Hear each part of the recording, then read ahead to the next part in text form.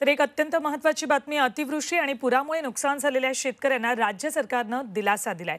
पूर आणि अतिवृष्टीमुळे पिकांचं नुकसान झालेल्या शेतकऱ्यांचं पीक कर्ज माफ करण्याचा निर्णय राज्य सरकारनं घेतलाय.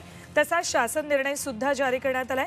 जुलै दोन हजार एकोणीसमध्ये पडलेल्या अवकाळी पावसामुळे राज्यात अनेक ठिकाणी शेतकऱ्यांचं मोठं नुकसान झालं होतं. हजारो हेक्टरवरील पिकं वाया गेली होती. याबाबत मंत्रिमंडळ उपसमितीच्या बैठकीमध्ये चर्चा झाल्यानंतर पीक कर्ज माफ करण्याचा निर्णय घेण्यात आलेला आहे. आजच्या दिवसातली ही अत्यंत महत्वाची बातमी म्हणावी लागेल. अतिवृष्टी आणि पुरामुळे ज्या शेतकऱ्यांचं नुकसान झालंय त्या शेतकऱ्यांसाठी ही अत्यंत महत्वाची आणि तितकीच दिलासा देणारी बातमी म्हणावी लागेल. या संदर्भात आपण अधिक माहिती जाणून घेऊयात. आमचे प्रतिनिधी दीपक भातुसे यांच्याकडून. दीपक या पीक कर्ज माफ जे केलं जाणार आहे अतिवृष्टीमुळे जवळपास अनेक शेतकऱ्यांचं नुकसान झालेलं आहे. त्या सगळ्या शेतकऱ्यांना दिलासा दिला जाणार आहे का सरकारकडून?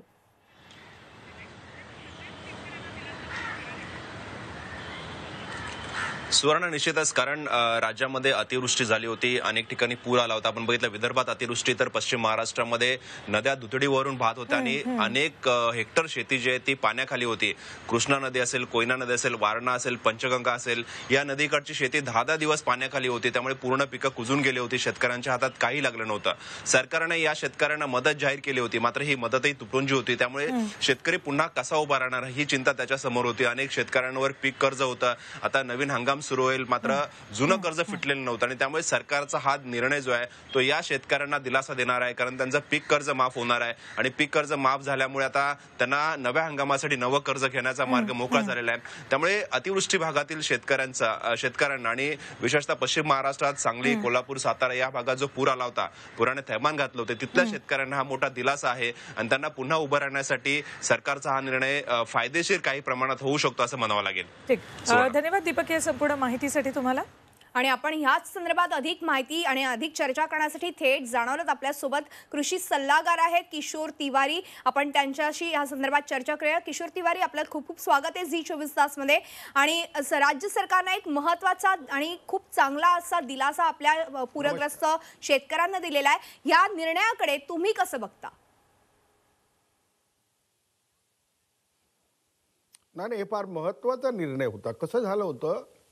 सांगली कोल्हापूर आणि कोकणाच्या काही भाग आणि विदर्भाच्या काही भाग. अतिवृष्टीमुळे सगळी पिकं जसं दीपकनी सांगितलं की खराब झाली होती. आणि त्यावेळेस अनेक राजकीय दौरे झाले आणि मुख्यमंत्र्यांनी तत्कालीन मुख्यमंत्री देवेंद्रजी यांनी दौरा केला होता. मात्र घोषणा करण्यात आली की तुम्हाला नवीन पीक कर्ज मिळेल जुनं पीक कर्ज माफ होईल परंतु ते काही देण्यात आलेलं नव्हतं. आणि निवडणुकीत त्याचा बा आम्ही हे सगळं केलं म्हणून फायदाही घेतला. मात्र शेतकऱ्यांना त्याचा फायदा झाला नव्हता. आता या सरकारच्या उपसमितीने म्हटलं की बा घोषणा करून का देण्यात आलं नाही?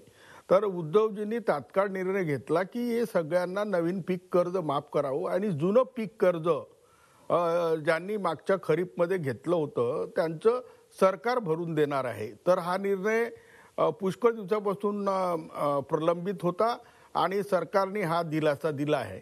सरकारने दोन लाखापर्यंत तो कर्जमाफीचा एक दिलासा दिला होता. आता हा एक निर्णय होता तो प्रलंबित निर्णय सरकारने मार्गी लावला. याच्याबद्दल मी सरकारचा आभारी आहे. कारण जेव्हा उभी पिकं नष्ट होतात तेव्हा शेतकऱ्यांना उभं करणं फार महत्वाचं असते. आणि अशी विपदा जेव्हा येते तर सरकारने असे पुरोगामी निर्णय घ्यावे.